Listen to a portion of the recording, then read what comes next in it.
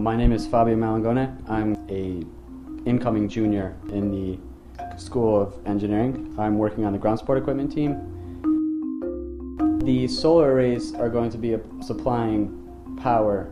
The main function of the ground support equipment is to verify that the voltage levels that each subsystem requires or the current levels are being sent to each subsystem.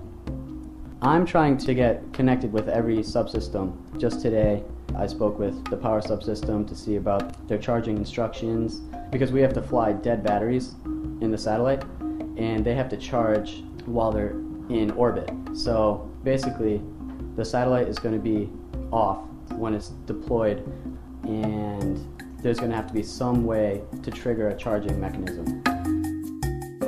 I mean, a lot of us are just trying to help each other out. There's a lot to learn.